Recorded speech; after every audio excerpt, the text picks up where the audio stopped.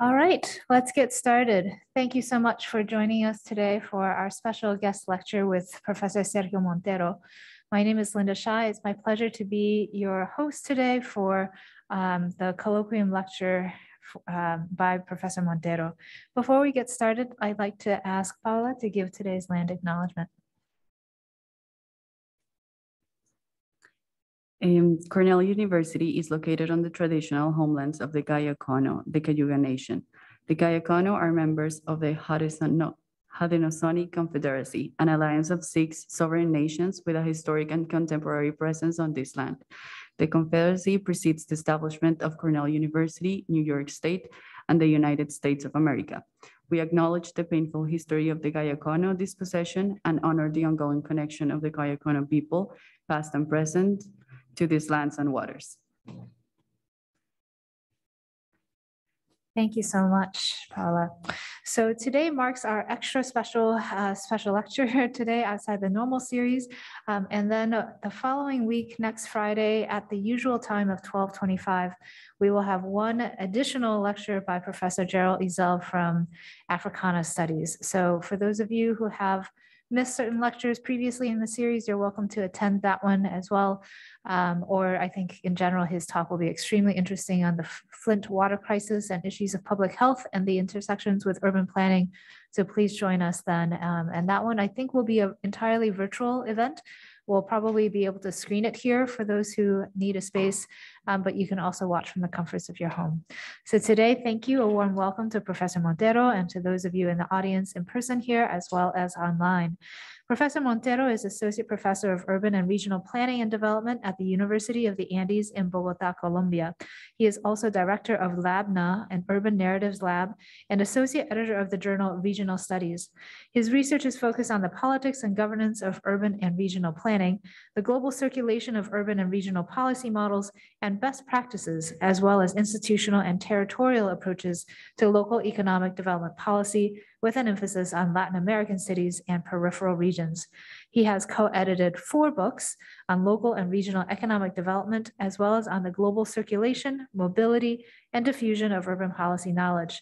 During the first semester of 2022, he has been a visiting professor at the University of Toronto's School for Cities, and he has a PhD in city and regional planning from UC Berkeley. Sergio, I know you wanted to be here with us in person today. I am, I, on behalf of the US uh, United States of America. I apologize that our embassy denied you your visa so that you cannot be here in person, but I'm really delighted that you were able to join us virtually. Please take it away and join me in welcoming our guest. Uh, thank you so much, uh, Linda, for the introduction. And yes, I would have uh, loved to join you there today. Unfortunately, um, it was impossible due to a, a, visa situation, but I'm very glad that uh, there was a possibility to do this talk uh, online. So uh, yeah, so thank you very much for the invitation. I also want to thank uh, Neema Kudva, even though I think she couldn't join us today either because she had to travel, but she was very kind, kindly organized my, my visit. Um, so thank you very much to everyone attending. And so I'm going to share the screen to show you um, some slides of the talk that I want to give today. I guess uh, you can see my screen.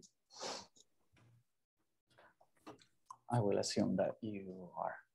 So, um, so the talk that I want to uh, give today is about my current research, uh, research that I've been doing since the last couple of years. Um, and uh, as, as uh, Linda said, I'm a professor at uh, Universidad de los Andes, which is a university in Bogota, Colombia. But this semester, I'm, do, I'm doing a visiting professorship uh, at the School of Cities in Toronto. So I'm not that far from Cornell. Um, so today I will be talking uh, about two things that are very much related. One is a recent article that just came out uh, actually two weeks ago uh, it's called Mobilizing Legal Expertise in and Against Cities, Urban Planning and its Increased Legal Action in Bogota. So in that article, together with my colleagues, uh, Luisa Sotomayor from York University and Natalia Angel Cabo from the law school at the University of the Andes, we uh, uh, explore the increasing role of uh, legal action and legal expertise in urban planning projects in Bogota. So here is our first paper of this uh, collaborative research that we've uh, published. And so I think that I will talk for a little bit about this article because some of the things that we explore in this article is what I will later uh, develop in the second part of the talk, where I will talk about the uh, a new book project that I'm writing on during my sabbatical here at Toronto uh, that combines some of these ideas on the increasing role of uh, legal expertise in planning and how that is changing and reconfiguring urban politics and participatory planning uh, in the city. So um, at the end, we'll have a space for uh, Q&A.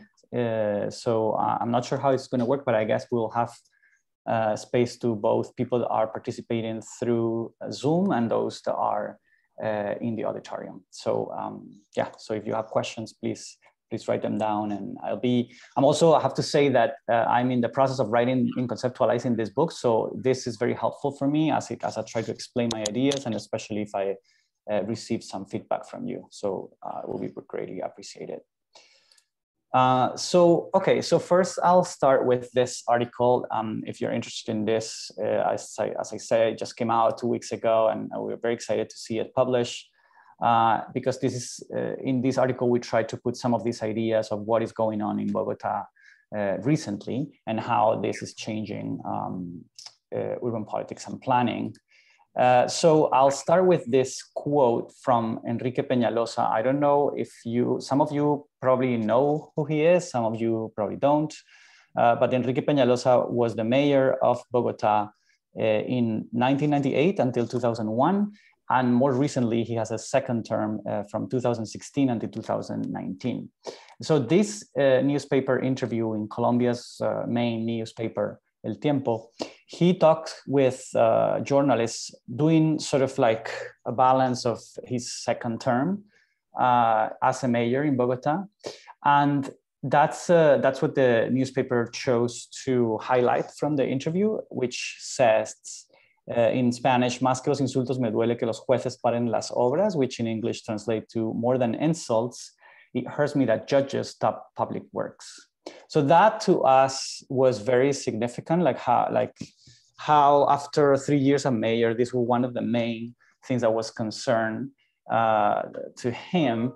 And you might remember, and if you don't know who Enrique Peñalosa, you maybe uh, probably have heard, if you're, especially if you're planning students, uh, you probably have heard about Bogota's Transmilenio BRT system. So uh, a BRT, as much of probably you know, it's a bus rapid transit system. It's, it's also known as a metro on surface. So basically you have dedicated stations in the center of the road to uh, make um, going up in and out of the bus uh, more quick. So you have this system that was not invented in Bogota, was actually the first city that did this system was Curitiba in Brazil in, uh, 70, in 1976. But Bogota uh, built in 1999, built the biggest to date uh, BRT system in the world. And this was Enrique Peñalosa's uh, sort of legacy from his first term in as mayor of Bogota. So uh, in recent years, we've seen a, a, boom of BRT systems around the world. And as I said, uh, Bogota is not the first city that did it, but it was sort of like the first city that did it at such a big scale so that it could compete with subway systems. So Bogota doesn't have a subway to the day. To the day. Bogota has 8 million people so it was one of the few cities in the world with more than 5 million city, uh, people that doesn't have a subway system and that creates all kind of nightmares, like, as you can imagine. But the interesting thing about this is that you can see how Enrique Peñalosa in his first term, he was very much a promoter of beer, of building a huge BRT system rather than investing in a metro line. And, and sort of like the rationale for this was, the, was that BRT is much cheaper and can move people uh, almost at a scale as, as a subway. So there's a lot of critique and I'm not gonna go into the you know, benefits or critiques of BRTs here because this is not the, the objective of the talk, but I want to what, what I want to say here is that Bogota and particularly Enrique Peñalosa was very uh, much instrumental in the expansions of BRTs around the world. And I brought here some ex some examples of cities that have built a BRT system uh, based or referencing Bogota's BRT. So for instance, Guangzhou in China was one of the first Chinese cities to build a BRT system. And it was, there's a lot of study tours uh, between Bogota and Guangzhou that happened uh, in order for this to happen. And then a lot of Chinese cities then replicated these ideas uh, from Guangzhou um, directly. Uh, Johannesburg in South Africa also uh, built a BRT. There's actually a new book that just came out from Astrid Wood, which is a South African uh, urban studies scholar who has traced how the ideas from Bogota arrived in South Africa, especially in the area of BRT, and how South African cities built BRTs based on uh, Bogota's ideas. Um, Mexico City also built a BRT very much uh, based on, on Bogota's Transmilenio, Jakarta, in Indonesia. It's called Transjakarta, actually very similar. The stations are very similar too. And more recently, the San Francisco in California also built a BRT, which has been forever in the making. This was in the making when I was a PhD student at Berkeley back in 2010, but it's finally actually it was this month, it was released. And some of the ideas of Bogota were also influential. So this is all to tell that in this in his second term, Enrique Peñalosa came to Bogota as mayor again and, and thought, okay, I'm going to again replicate this idea and I'm going to build a BRT, a new BRT line in Bogota's main avenue, which is called La Séptima or the Seventh Avenue. And so, surprise, surprise, he couldn't do it this time because a judge stopped the project.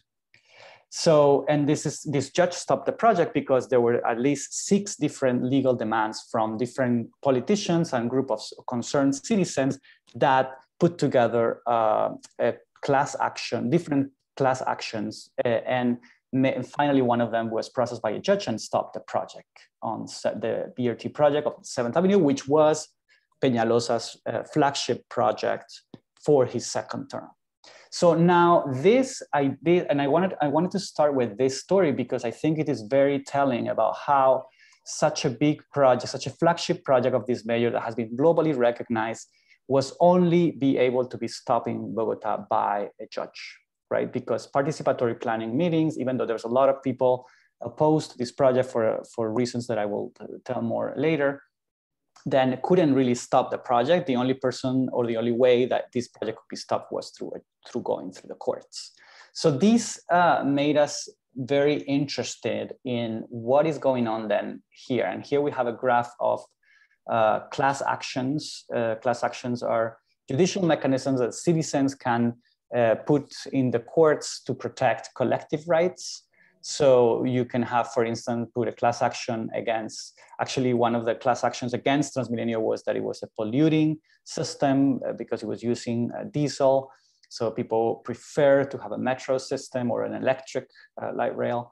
So anyway, so there's all kind of collective rights that you can um, invoke in order to uh, question or stop an urban planning project. But what's interesting here is that we see an increase in the cases of class actions against the Bogota's Urban Development Institute, which is the, an agency uh, in charge of building Bogota's infrastructure. Here we have uh, the kind of uh, popular actions have been filed by kind of by the topic of the claim. So we see there's a lot of judicial actions around roads, but also around sidewalks and public spaces, and also about public uh, transport, and also environmental issues is a big is a big thing. So here we in this article we also give an estimate that uh, so that recently there was this report uh, by the Association of Colombian Cities that estimated that about 69,000 lawsuits there in 2009 they were currently uh, they were at, in 2009 69,000 lawsuits lawsuits against Bogota's local government agencies and the economic claims surpass uh, the five billion dollars. Uh, so we see this as a phenomenon that this report call it a phenomenon of dramatic dim dimensions and one that is not only draining resources from local governments, but also blocking important uh, urban planning projects for the city. So now we became more interested in the understanding. So what we do in that article is try to understand the scope of the phenomenon in Bogota, particularly in urban planning, because when we talk about lawsuits against local government, this could be also around other areas of, of local policy. So not necessarily urban planning, also, I don't know, education uh, policy, for instance. But we were, but we're more interested in understanding what is going on with planning and these legal actions and sort of like some of the consequences of this. And this is sort of like an exploratory article. So the idea was to also propose, based on our initial findings, propose a future research agenda for urban and social legal scholars, which I think are perhaps more equipped than urban studies and urban planning to, uh, to help us understand what happens when the law and legal expertise become involved so uh, much in urban planning issues. So we wanted, we also want to create a collaboration or a collaborative debate between urban studies and um, social legal uh, scholars to try to understand what is going on and how this, what are the possibilities and limits to democratize urban planning when legal action or legal expertise is become involved. So that's some of the um, goals of that article, and I will briefly uh, tell you now some of the reasons we found that are behind the rise of Bogota's legal action uh, in urban planning. So one of it is the incentives to promote litigation to protect individual and collective socioeconomic rights. So one of the one of the most important things is that there was a change in constitution in Colombia in 1991. So the new constitution, and this is this happened in many countries in Latin America, right? So the the 80s and 90s happened in Brazil in the 88, happened in Colombia in 1991. So there was a wave of democratization in Latin America in the 90s uh, that come also, also in the 2000, many other countries such as Ecuador, Bolivia, and Peru also had new constitutions. And now we have actually a big debate about the new Chilean constitution that is being discussed. Um, so we have this wave of democratization in the in the 90s in, in Latin America. So in Colombia, this new constitution uh, actually is one of the most progressive constitutions in Latin America. So it has it, it sought to provide easier access for citizens to the judiciary to protect individual rights and collective rights. So there's a sort of like new mechanisms that became more easy for citizens to use. Eh, one is the tutela. So it is a legal claim that an individual can claim, uh, can make a claim uh, to the government through the courts and acciones populares, which is the, which is the one, we sort, it's sort of similar to class actions in the US, although there's also some differences but it's the one that have been more used uh, in order to block urban planning projects. So these, these legal mechanisms were not used in urban planning, even though the, the constitution established them. Uh, this was not really used in urban planning uh, until recently. So it was mostly used, especially in health issues. So especially for individual rights. So people without access to certain medicines, for instance, would like reclaim with a tutela to the national government for us to ask for their for the health rights. And also environmental movements started to use it a lot. So a lot we saw a lot of environmental uh, movements using acciones populares uh, to claim uh, for the collective right to the environment and trying to stop particular projects especially extractive uh, economic activity in rural areas uh, some around rivers but not so much about urban planning the, also, the other thing that uh, this, is important to, to say here is that there was an economic incentive in the beginning so that citizens would like, so that the state would encourage for citizens to claim if they see uh, that the, their collective rights were in danger.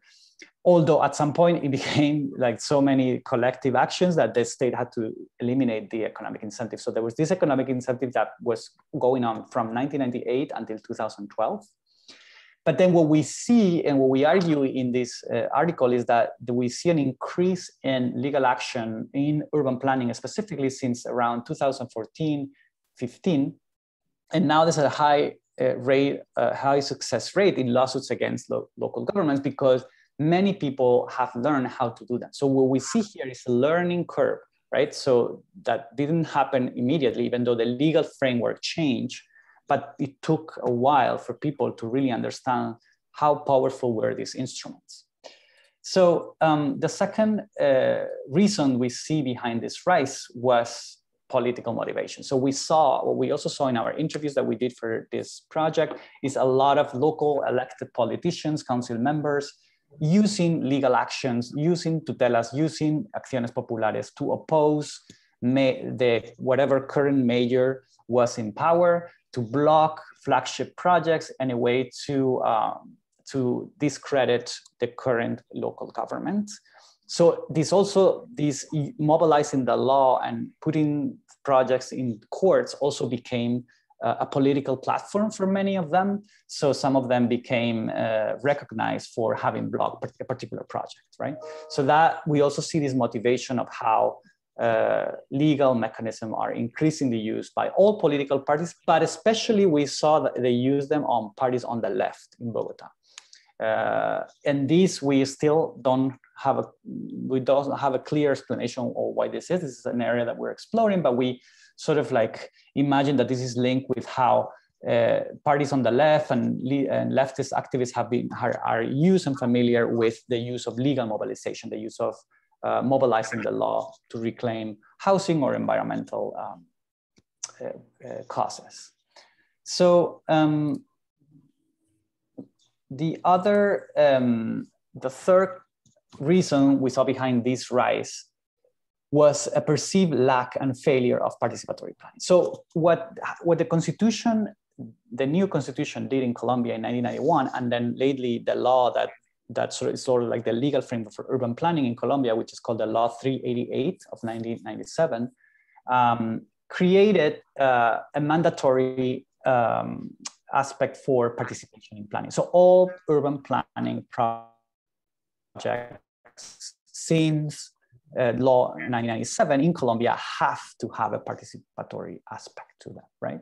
So this is a legal mandate. So what it's been happening though is that this this became a sort of like a bureaucratized process in which uh, planners uh, of Bogota have to do this. So they do it, but people are also starting to be fed up with them because they know that many that many times they go to these meetings they say a lot of their concerns the planners go and take notes but then uh, nothing really happened and so this in spanish is called this word that i really hate it's called socialización socialization. And here's an example i brought you an example of a poster of the bogota uh, peñalosa's government how how this look like like how they uh, call people to participate, but they call it socialización. So they're socializing the, a project that is going to happen. And so it's, it's, like, we're going to tell you um, what's going to happen in your neighborhood. And yes, we want to hear you, like what you think about it, but we're not really involving you in the project. So this became a frustration because there's a lot of, actually there, right, right now, there's a lot of participatory spaces for planning in Bogota, but many of them have this approach of like planners going, and taking notes, but then coming back and then citizens being concerned because their, their concerns were not taken into account. So um, this was especially true during the second Peñalosa's term, because these the participatory planning efforts were uh, really low. And he, because he had this global aura of being this global urbanist that's been recognized for BRT around the world, he sort of like acted as people voted for me in the election. So I'm the mayor. So I'm going to do the projects that I uh, see uh, more like more correct for the, for the city. So, and you know, this would be sort of the ideas of representative democracy, right? Because you vote for a mayor, then that mayor is allowed to do whatever he wants. Whereas the Constitution and the Law 388 uh, is promoting deliberative or participatory democracy, which is that you still have to consult with citizens when you're going to do uh, a, a, sort of like a public works or an urban plan project. So we see this tension here. And one of the reasons why some citizens now prefer to go to the courts because they know that by going to the participatory planning meetings, they're not going to be able to change or block or uh, change a fundamental aspect of an urban planning project. So that's we saw that as a in a, so it came out in many of our interviews uh, how that was happening. And finally, the the fourth reason that we saw behind this rise of legal action was how an emerging urban middle class in Bogota has learned how to do these legal mechanisms and is doing increasingly doing those uh, and filing uh, class actions and filing individual rights claims. And so we saw that this we there's a committee uh, that was formed against particularly this the BRT project Transmilenio on the Seventh Avenue by some of the neighborhoods, uh, some of the neighbors in the most affluent part of the project. So the project was going was really long and was going to uh, from the south to the north of the city, but on, but a particular group of neighbors, affected neighbors in one of the most affluent parts of this the, the place where the BRT was going to go, were uh, were very successful in organizing themselves and contracting very uh, good lawyers uh, to then put together demands, right? So there were so there were different demands that were put together by some of these uh, neighbors. So, I mean, this is a more complicated story than this. If, if you want more details, uh, maybe uh, you can talk to me later. But uh, but the the point here is that we saw we see this dynamic, right, of like the the emerging middle class uh, frustrated with participatory planning meetings and going to the courts to defend a particular idea of what they think is a good city, right? So this is also because what they think is a good city is not necessarily what, what the middle class, the urban middle class in Colombia think is a good is a good city, or, or what how transport should be planned is not necessarily what poor uh, uh, residents of the city need. So, for instance, in some of the protests against BRT, we see a lot of complaints about heritage, architectural heritage that be being demolished, or green spaces or environmental pollution, but not so much about issues of equity um, mentioned. There's another thing that we haven't resolved yet, which is this idea is that can we call this NIMBYism? Because this is also a very American concept. First of all, in, in Bogota, people don't have uh, backyards normally. So, but we've been sort of like trying to uh, think about this in terms of like, is this NIMBYism or is this something else? Is this the middle, the emerging urban middle class in Colombia? Uh, what do they want? What is their idea of uh, the good city? So anyway, so um, but basically, what we, end that uh, article with with proposing an agenda. So based on our the tensions that we saw in our Bogota research, we want to further explore these ideas. So we want other researchers and other students and other planners become interested in, in problematizing this because sometimes we see that we this discussion can fall into a very sort of like two sides one, or like right, sort of like oh because the mayor didn't do participatory planning, then citizens were empowered and are now going to the courts. And if and we think that this is a much more complicated story. Yes, there are spaces to democratize and change the way that participatory planning is done in Colombia and in Bogota, which is obviously not work, working well.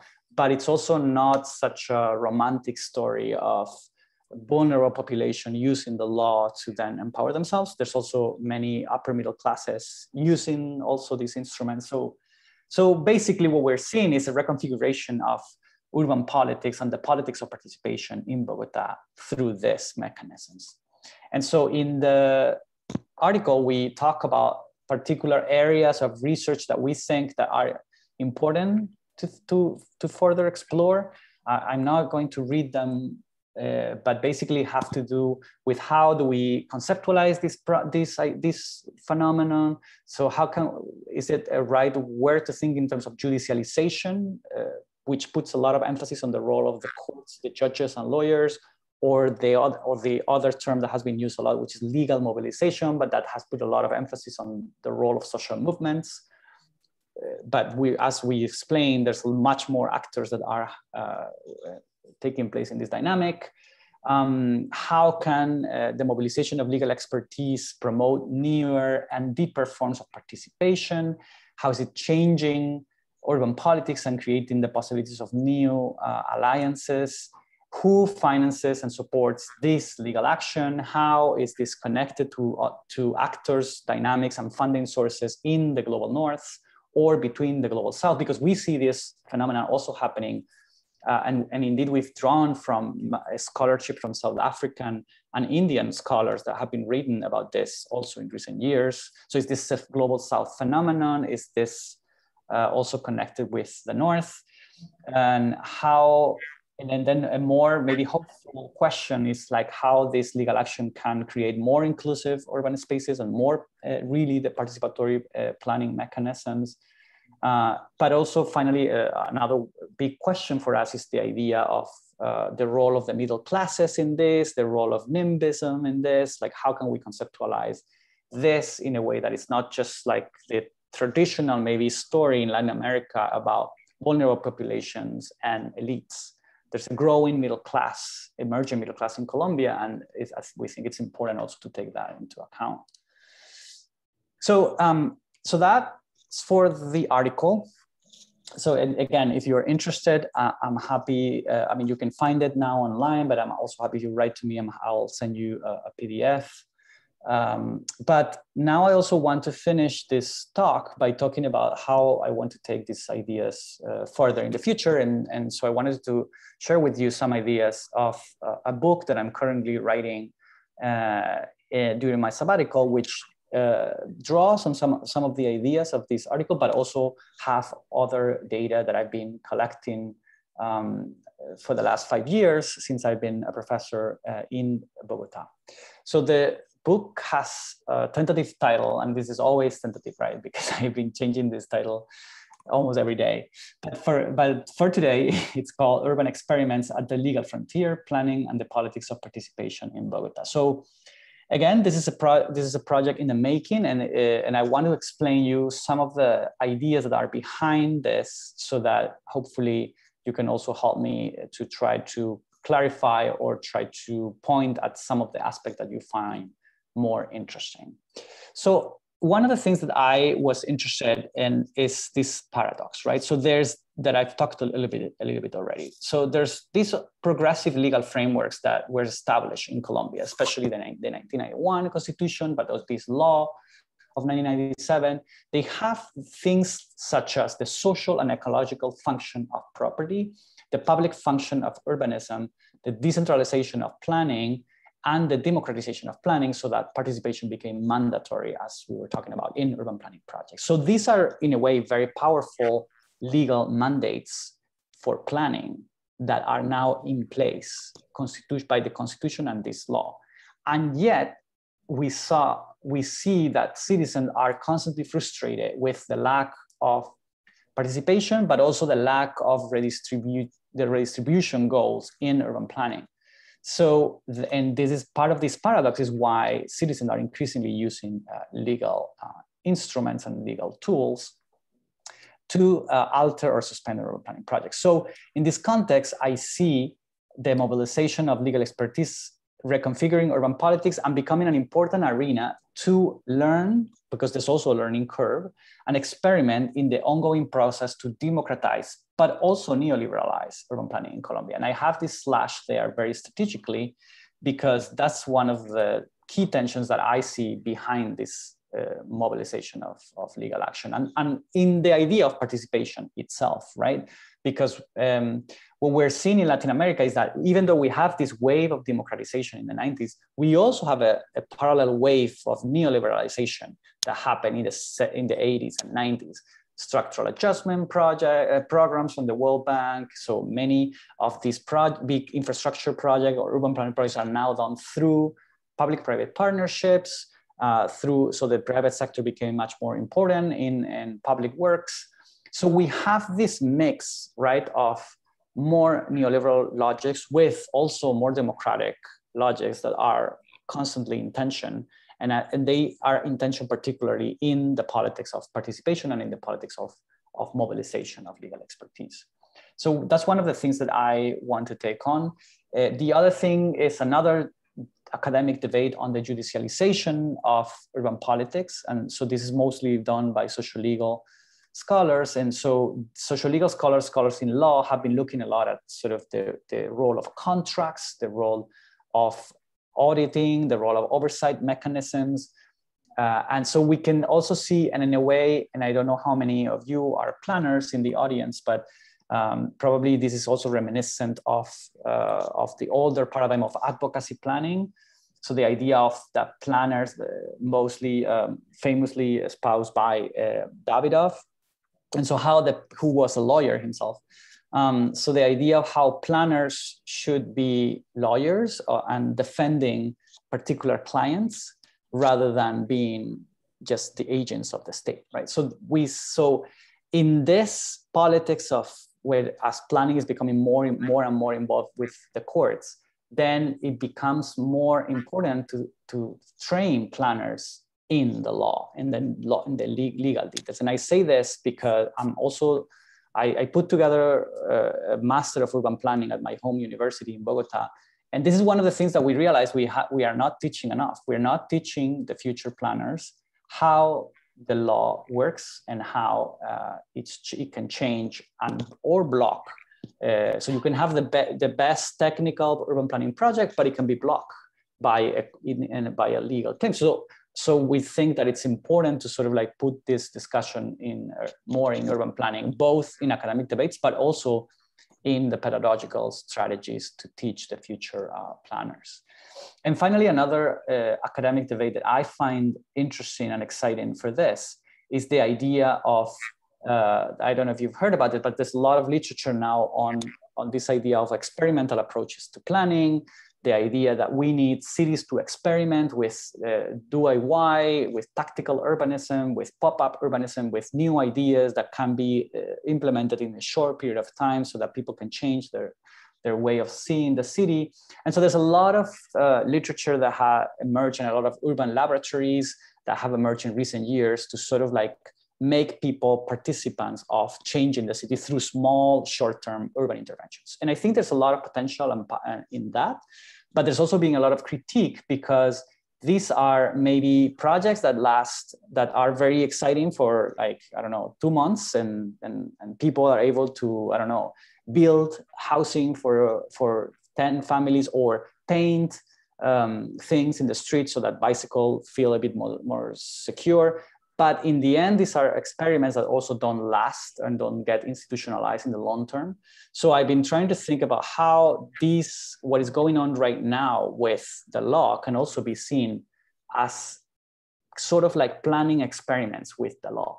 And so I'm, I'm excited to, to further explore this idea of how in order to uh, have the outcomes of these uh, urban interventions to be long term, how if we think of this as legal experiments or planning experiments rather than urban interventions, this could be, this could be a more uh, interesting way of thinking about um, this. So these are some of the academic debates that I've been interested in to, to relay with this book project. And these are some of the key terms that I that I've been thinking also. So as I said, in this article, we use this idea of mobilizing legal expertise as opposed to other terms that have been used, such as judicialization of politics, or, or we, could we could have called this the judicialization of urban planning. But we think that judicialization, the concept, uh, uh, stress or emphasizes the role of the courts, the role of judges and lawyers. But as we see, there's many different actors doing this. And then there's the other term that's been used a lot in the literature, which is the idea of legal mobilization. But the, if you look at the legal mobilization literature, you will see that a lot of the cases are about social movements. So it's sort of, sort of like a more vision about how social movements can change the city through the uses of law. So with by using this term, we sort of like give want to give space to the different kind of actors, including politicians, including uh, middle class uh, coalitions, including neighborhood associations that are also using the law. So that's one key term. The other key term is the one that I was just explaining, which I still haven't decided whether it's going to be the idea of urban experiments or planning experiments or legal experiments, but it has to do with this idea of how we move beyond this idea of tactical urbanism to have experiments that are actually lasting in the long term. And then finally, another term that I've been thinking a lot about recently is the idea of legal frontier. So like how all these experiments are happening at this legal frontier that is characterized by this tension between these neoliberal logics and these democratic logics, right? So as opposed to many studies that think about that are blaming gentrification and all the problems of the Latin American cities to neoliberalism, we also have to acknowledge that we have now such a new legal frameworks about democratic possibilities that didn't happen before. So this is not like in the global, when you think in, in, in, the political economy of the global north, particularly in the US, and Europe, you see, or Northern Europe, you see this idea of like going from a welfare state uh, to like a neoliberal state that does not provide as much as it did before. But in Latin America, we don't have that story. We never had a powerful state that was a welfare state that was providing, and now we have a neoliberal state. Rather, we have a combination of logics of that is both a government that wants to be neoliberal sometimes, but also is uh, being pushed to be more democratic. So this idea of legal frontier for me would be an interesting way of thinking about how these experiments can both uh, advance a neoliberal logic or a, more democratic logic to planning. So in a way, what, what is, is at stake in these planning experiments with the law is uh, about democratizing or more neoliberalizing uh, urban planning and therefore the outcomes that can come out of that. Um, so, and I don't have time to talk about the cases that I that I would that I'm going to consider for this book project, but some of them I already talked about. Some of them is the BRT project on the Seventh Avenue, but there's much more projects that have been uh, related with this legal action. So the new, the first new metro line that has been uh, contracted recently, but also some of the urban redevelopment plans that are happening in Bogota some uh, policies around public space and local economic development, and, and also some of the projects around regional planning. So all of them have been in somehow or another being affected by these uh, dynamic and is changing the way that uh, they're functioning. So to conclude and to leave you with some ideas, and then we can open this up for questions.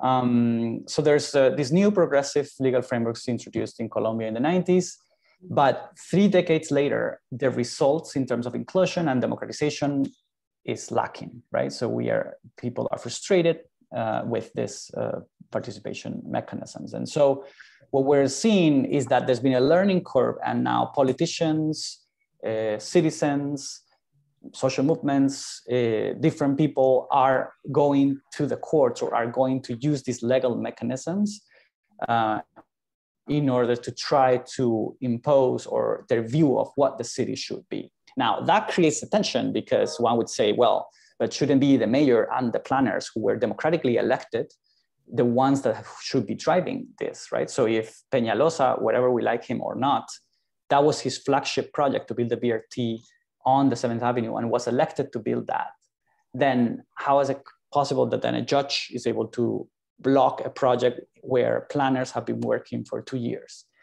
But then citizens will, some of the concerned citizens, especially from this neighborhood, uh, affluent neighborhood affected, will, would celebrate this as you know, a victory of participation and a victory against the mayor that didn't want to do participatory planning. So anyway, so we see that there's a interesting tension here that it's important for us if we're interested in, in planning and what can planning do um, for a city and then uh, again, uh, we don't want to call this, or I don't want to call this judicialization of urban planning because then it, that would imply that it's the judges and lawyers that are the main actors that are now deciding. Because what is happening is that in order for a case to get to the courts, it's actually being uh, different different sets of projects and different sets of people that have been pushing and putting together a case in order to get to the courts. So by only looking at the courts, we'll be missing the sort of like urban politics that is behind uh, the, this legal expertise being mobilized. And also the other thing that I didn't have much time to talk about today, but it's also an interesting thing that is happening, is the idea of veedurías ciudadanas, which is this uh, audit, citizen audit committees or citizen control committees that are increasing in numbers uh, in Bogota. So it's this idea of like overseeing a project. And so you, you can form citizen committees around that. And you can actually, through those veedurías, you can also try to block or change projects. But this is not a this is not participatory planning uh, method, but it's more of like when the contract is assigned, then you can create this sort of citizen control audit mechanism. And that, that is also a, exploding in Bogota. A lot of citizens, the more and more they learn about how to use them, uh, they are creating more and using this instrument more. So this is also an interesting thing that I would like to explore uh, in this book. So anyway, I think I'm gonna leave it here. I think I'm on time. Uh, so like, because I would like to have your um, comments, questions, uh, if you know about other places in the world that where these dynamics are also happening, that would also be very helpful, especially if it's in the global south, but also uh, from other uh, places. So thank you.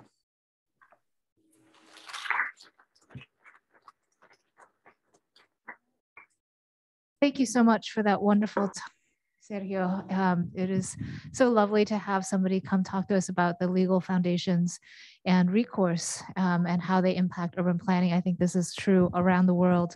Certainly, it resonates extensively with the United States, where since the establishment of many of these environmental and social protection laws in the 1970s, we've seen a lot of use of laws both to protect and oppose things like the Dakota pipeline, but then also the use of them to, uh, for as you say, for NIMBYist reasons by middle and upper classes, using the language of environment mm -hmm. or now with climate of nature-based solutions to do what um, lower income groups would say is ethnic cleansing or yeah. uh, position of inclusive development. So it bears brings to mind that, you know, ultimately, perhaps to me, it's not necessarily even about the law, but really about the failures of planning and mobilization to address these things before you mm-hmm. get to the level of the law. Um, and it, it, reminds me also of um, Larry Susskind's story of uh, what story was it? It's like um, Sleeping Beauty and how they mm-hmm. forgot to invite that one fairy godmother and then she cursed them all, right? This is a failure of inclusive party planning that has real consequences. Um, so let me invite questions from the audience online as well as um, here in person. We have about 25 to 30 minutes with Sergio to ask questions. All right, while you're all thinking, let me um, come up with a question here to, to open up for discussion here. Um, I guess the some of the things that you were debating on La Septima seemed like perhaps um, aspects that technical or perhaps um, social processes could have solved. Like if one of the major concerns was the diesel pollution, there are EV buses that one could imagine. So there are certain ways to get around some of those concerns. But I'm curious whether you think ultimately you know, this is a fundamentally classist discussion of mass popular support for a BRT that will connect workers to this major employment area, but local residents who are wealthier being able to oppose them. So even if you address some of the technical concerns, can there be any resolution uh, on technical grounds, or is this really a struggle for um, rights to the city or space to the city that cannot easily be, be resolved? Um, and if there were protests by the local residents, where were the counter protests that would have been supportive? Where was Peñalosa's base that elected him in support of this project when yeah. these conversations were going on that might have mobilized support um, by the judges to interpret it in a different way? Yeah. Thanks. No, that's a that's a great question, and I think it's one of the biggest issues that we've been trying to deal. And we, for this research, I've we've interviewed uh, people both on the planning side, but also people that were part of these committees, people that were strongly against uh, the project, people that were strongly in favor. So it's not easy uh, to, um, to, to answer, but I, I would tell you that there are different legal demands, for instance, for this project. So there was not just one. Uh, so there were there were five different, at least five that we've recorded, um, but maybe there were more. But we this is and this has been part of the difficulty of doing this research is that and in general i think it, it would be interesting to take into account that it's not so there's not such a like a common place where you can go and find oh these were the demands that were filed against this project right no you have to like go through different courts different tribunals and ask people uh, so we, for instance, in the beginning, we thought there were four cases, but then we, we found out about a fifth one. And then now we've discovered a sixth, uh, another one. So part of this is the idea that these are not, this is very sort of like not well recorded. And this is going through different courts. And so there's not a clear sense of what's going on. But I would say that one came from this committee of concerned neighbors from a more sort of like affluent part of the project another one came from politicians, as I was saying. Uh, politician, elected politicians are very much interested in this because they want to discredit the current major project. So uh, actually, one of the initial demand, uh, legal uh, legal demands that went through was one uh, famous uh, uh, politician that was really didn't want Peñalosa to be this, but it was mostly, I think, a personal political battle rather than anything to do with the city or with the technical aspects of the project. But then we have another that came from architects, from or led by an architect that was very concerned about how uh, uh, architectural heritage place was going to be uh, demolished to build the BRT station. Um, so you see, so we have a very different set of actors and that's what we've been trying to understand because i feel like we need to first to understand who is using these mechanisms to then understand the potential of these mechanisms to then uh, democratize or to pro or to promote a particular vision of the city or a particular right to the city. Because it, inter interestingly this idea of uh, participation right to the city is being mobilized by the middle classes as well and it's not that also i don't want to demonize the middle classes because you know that's part of i mean i you know they live there they have a they should have also the right to say what's good or not for them. But then what happened i guess the, the fundamental question for us was like what what is house planning how planning should change in order for this to not happen or in order for this to be sort of like instead of going to the judge to the judges so there will be sort of like a negotiation before the, the, the planning process is done and not through the participatory planning meetings that we all know that they are not going anywhere because they did some participatory planning. And actually it was interesting we have an interesting anecdote about how this citizen committee against the project was formed after the local government did a participatory planning meeting in the neighborhood and basically and a lot of people came and basically the lead, the planner who was leading the meeting was sort of like well this is the project that we're going to do and people were like well but you know is this supposed to be like for a, a place to participate and she said something like well, but you elected, the, the mayor was elected. So that's where the participation happened. So I'm just like socializing with you what the project is going to be. So that created such rage in people that were in this meeting that prompted the creation of the committee. And that committee then became, started to create all these like legal actions uh, in order to stop the project. So, so yes, so there's something about something that we can do about inclusion, but there are also other things that are out of control, which is, for instance, these like political battles between different poli uh, politicians or different political parties that are also at stake here. Um, I see that there are some hands in Zoom, but I don't know. Yeah, I can go next. Um, yeah, please. Uh, thank you for your talk, Professor Montero.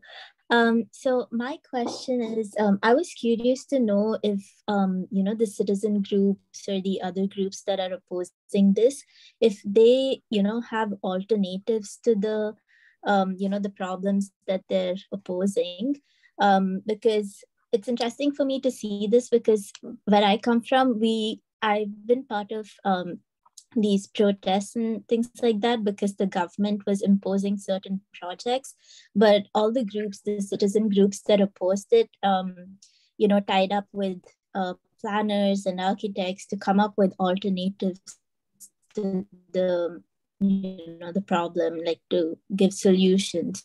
So i'm wondering if these groups you know came up with um, alternatives for example you said that the architects um, put forth um, concerns of his, uh, historic or conservation measures and things like that. So I'm wondering if they came up with other measures because like BRT seems like a really good like public transportation project, which is what we aim to do. So then I was just curious to know if there are alternatives that they proposed. Um, so yeah.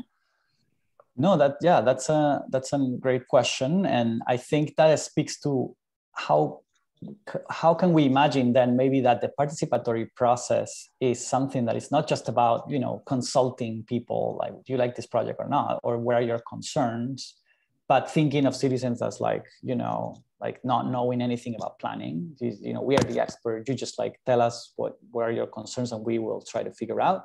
What you're asking is a very interesting question. We would change uh, the the dialogue and the, the power dynamics, which is like thinking that actually people in the audience might be architects, might be expert, might be people that can then ally with other people to actually come up with a proposal.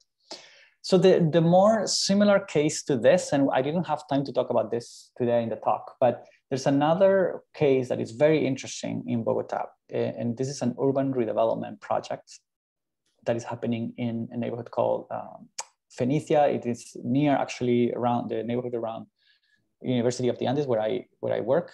And this is an urban redevelopment project that initially was gonna be done in the sort of like bulldozers or like buying people out, displacing residents and then build like high density towers. And so some of the professors of the universities and the students and also the, the sort of like the neighborhoods uh, organized to stop the, because the university was the, also the promoter of the urban redevelopment plan. Uh, and so the neighborhoods organized, but also some people inside the university allied with the neighbors, and then were able to change the project and then experiment. And that's what I, the idea of experiment, I think is very interesting to me. Experiment a new way of them staying in the neighborhood without using the traditional mechanisms for urban renewal, which is expropriation right? So here, what they did was a land, eventually was a, land readjustment scheme was, was done so that people put their properties eh, in a common land trust, and then they will get whatever square meters of house of a house they have now in the new developments. So, and also this, so this was a very interesting because it was the one of the first times it, it happened in Colombia, and that's what I mean by the idea of or how do you do experimenting with a law because that what they did the neighbors was to hire their own expert in urban planning their own an, an architect.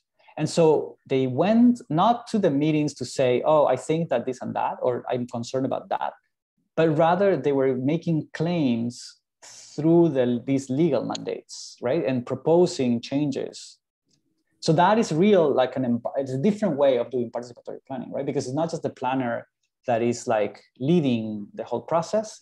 It's uh, it's the is citizen concerned citizens with a different planning expert and having a conflict with uh, or a discussion with the official planner. So so in, in that way proposing things so i think that is a very interesting thing that's one of the things that i want to write in this book because i feel it's a very interesting case that can give us some hints about how to rethink uh, the way in which we involve citizens in planning. Thank you. And I see Hantao has his hand. Uh, I think Paula is um, is to be first speaking, so I'm gonna wait for her answering okay. that question. Hi, sorry, can you hear me? Yes. Um, hi, nice to meet you, Sergio. My name is Paula. Thank you so much for your talk. I'm from Bogota, so great. You speak. I'm really glad that you mentioned the Fenicia case because I was actually going to ask you something uh, related to the experts because in the in your paper you mentioned that both the BRT BRT uh, opposing group from the Septima were using experts, but also the uh, Mesa de los Cerros group they use like a different type of expert. Uh, they use like uh, the legal clinics that are also housed in universities. So I was thinking maybe because I know that I'm familiar with the kids from Fenicia and how the architecture school was like on one side with the university mm-hmm. and more like the history side and sociology. We're working with the residents. Mm-hmm. About like the different type of experts that are related in both groups. That was like my first question. And the 2nd mm-hmm if I can ask the second one, eh, is that um, I don't know if you're thinking about any type of networks that are happening between these groups. Mm-hmm.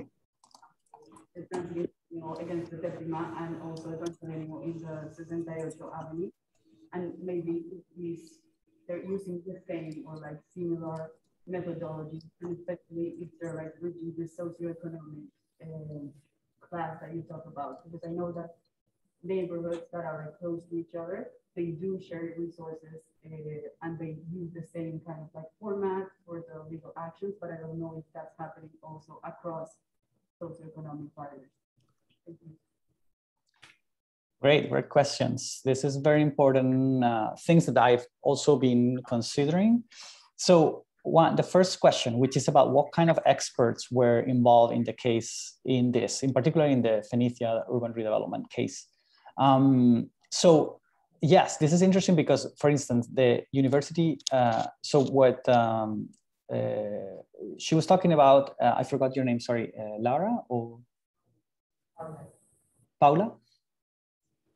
Yeah, so Paula was talking about uh, a, a sort of like a divide within the university where like the architecture department were sort of like more friendly towards the idea of the, the you know, putting together workshops and uh, design thinking stuff, not like what that's the kind of thing the architects likes to do. Um, but, but yet other people uh, more maybe coming from the social sciences were more concerned about the redistribution issues uh, that this project would bring would bring, bring about to the neighborhood.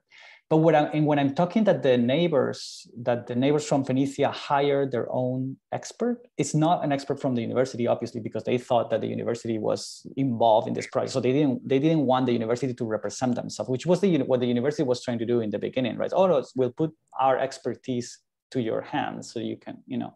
But then they were like, well, you are the promoter of this plan. So like we need to have our own experts. So they hire is it was an architect, but it was an architect that was ex, an expert in legal issues, right? So a lot of what the neighbors did with this architect that they hired themselves and they pay for themselves, what the kind of expertise was actually legal expertise.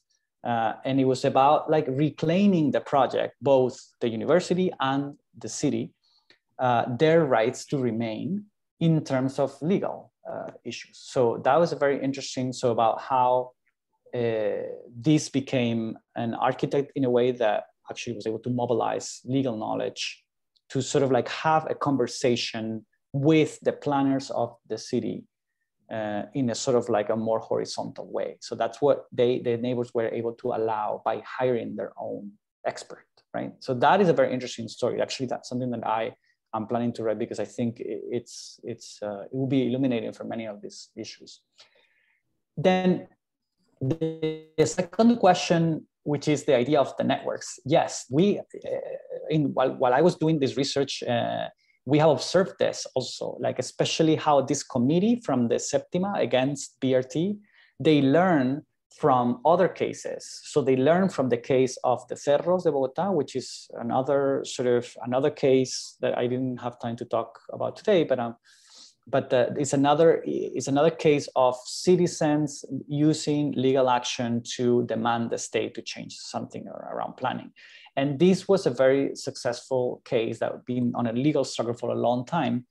And some of the things that they learned and in this struggle were then transferred to other conflicts in bogota so the case around reserva de la Van where also some of the people learn from the Cerros and the, the people from the Septima also. So yes, there is this sort of like educated middle class people on the left that have been sharing uh, ideas and sharing legal strategies to oppose particular projects that they see, particular Peñalosa projects that they see that are against uh, either uh, their interests or the environment uh, but yes, so it's there is a network of people that have been diffusing, and, I, and as I said in the presentation, this is a learning curve, right? So, so what I think it's interesting is that we're just seeing the beginning of this, but I think this is become it's going to become more and more important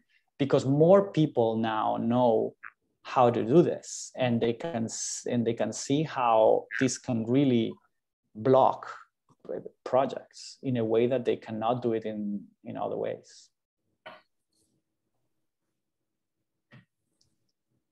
Um, so um, okay, thank you. Um, can I ask my question? Um, so hi, um, thanks for your presentation. I have one question regarding to your presentation and one little comment.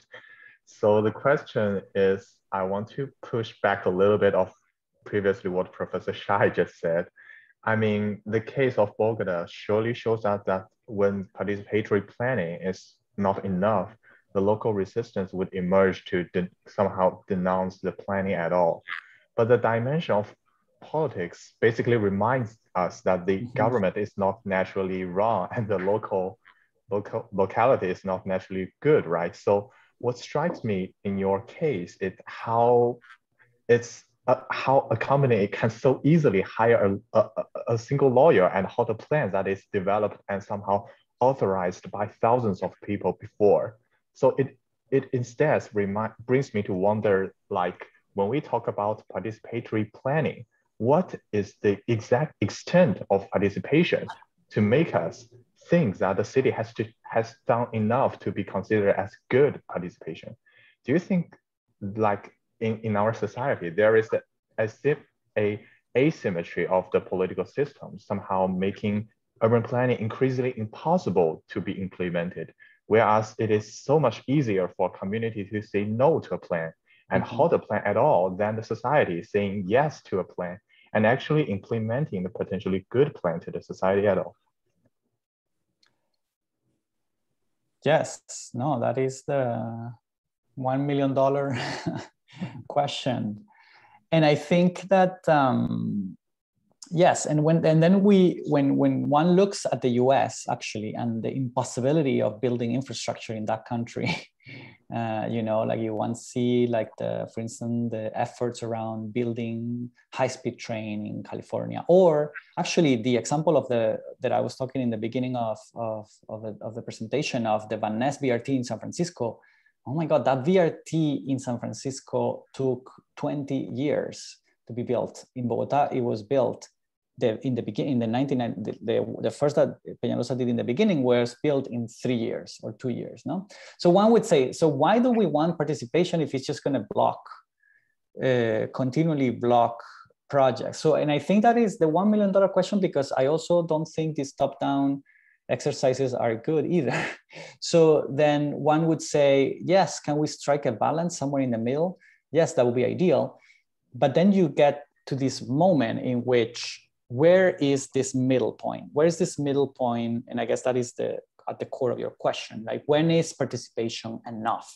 Like one can where when can we say that we did a project that is not just a top-down approach, that we did involve people but that we are not involving everyone because in an 88 million people city, we cannot ask 8 million people to participate in every single urban planning project, right? So where is enough?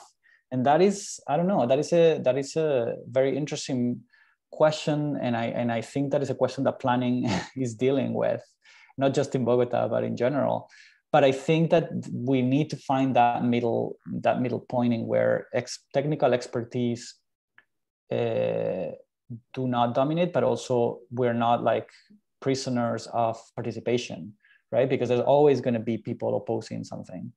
Um, and so I think that there's some, some approaches in planning that I've been reading actually recently, which is this idea of agon, uh, the idea of agonism, right? So the idea of recognizing that there are different interests in the city and that these interests are going to clash, and that what when people complain, this is this is another typical thing, right? So like for instance, the community. Oh, the community said that they oppose the project, right? But who's the community? The community is a particular group of citizens that organize at a particular moment of time to reclaim a project. But that doesn't mean that, that there's other community members that are not organized and maybe they, they are in favor of the project. So, so like the, these ideas of agonistic urban planning to me has been interesting to read lately of like how to recognize that there's not just the state and the community, so this would be sort of like the traditional way of thinking, but rather that there are different communities with different interests and that the planner has to somehow find a way to sort of visualize those conflicts. So not just about, because sometimes also planners try to not, you know, visualize conflicts because, you know, they're, they, they, they think that their role is to bring consensus.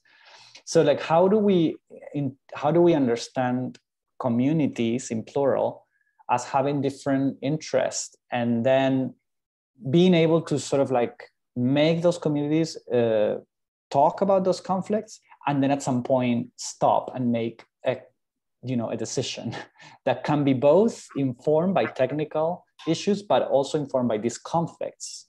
And achieving uh, something that it would probably not be the perfect um, solution neither technically nor politically but something that somehow uh, reflects both sides I, I know it's a broad question, but thanks for trying to answering that. And since my since the time is constrained, so I will just uh, put my comment on the chat box in case you want to take a look. Thanks.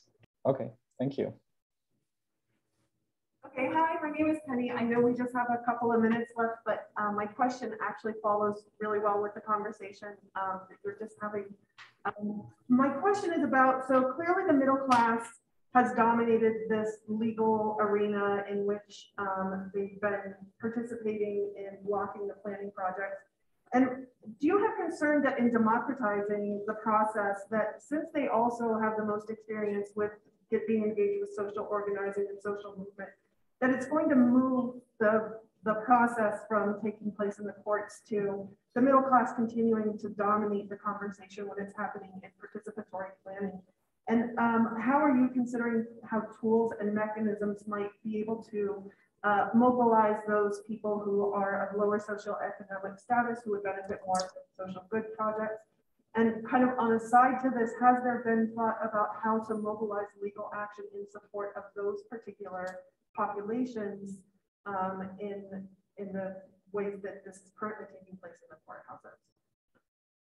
Yeah, no, perfect. Yeah, it does follow on this conversation. And I think that it is important to also recognize that the vulnerable populations in Bogota or Colombia have used legal strategies for a long time, right? So that we have these battles in the 60s and 70s to regularize land for informal housing, to le legalize informal housing through uh, through a legal instrument, which is to get property titles, right?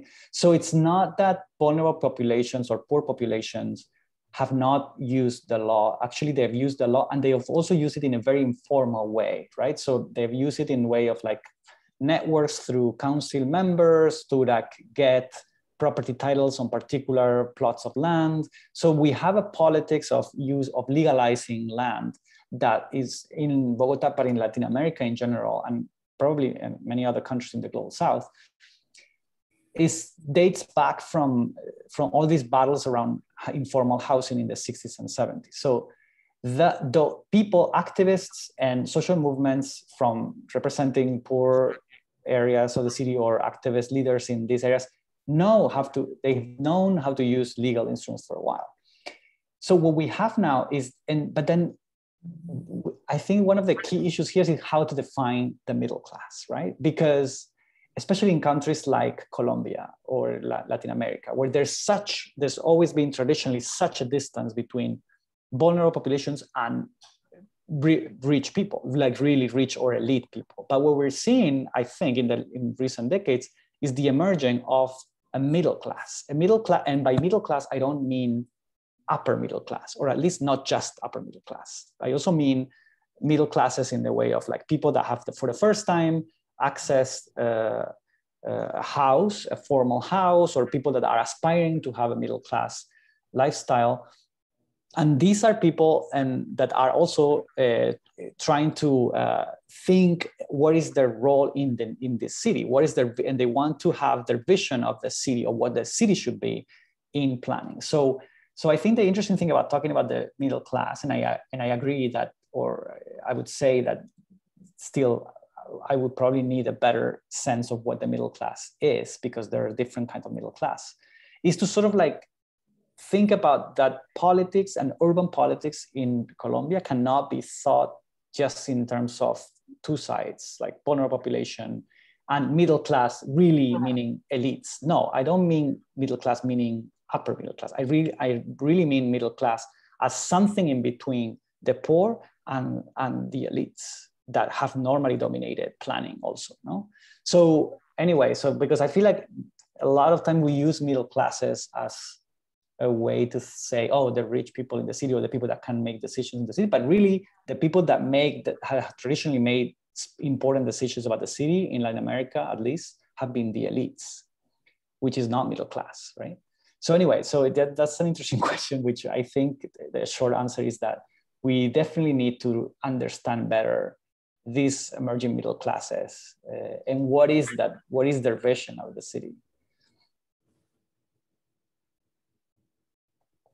All right, well, that brings us to our conclusion. Thank you so much for a fascinating talk and all the things that you're making us uh, much more cognizant of, including a focus on the middle class. I think in our uh, program, I think we certainly have that dichotomous division between low income groups and uh, wealthy elites. And you're right to point out the concerns of a middle class, of the vast majority of city spaces that are neither the downtown centers nor these uh, favelas or the slums, but actually middle class suburbs, for instance, um, and their residential housing and, and those concerns. So um, really appreciate all of the insights that you've shared from afar in Toronto.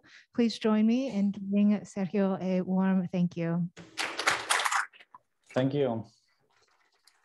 It was my pleasure to be here and thank you for the comments and the questions that were really good and helped me in this process that I am right now of thinking about how to think about this dynamic. So thanks. Take care. Bye-bye. Bye.